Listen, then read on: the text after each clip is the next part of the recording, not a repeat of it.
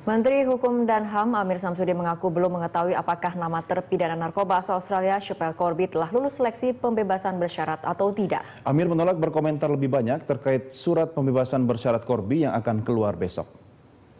Amir Syamsuddin menyatakan ada sekitar 1.700 tahanan yang akan mendapatkan pembebasan bersyarat pada pekan ini.